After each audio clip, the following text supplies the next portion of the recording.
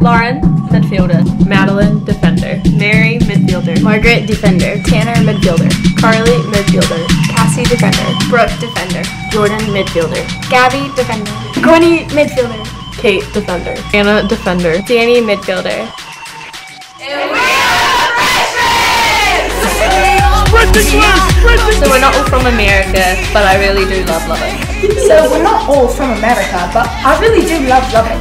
There may or may not be two of us.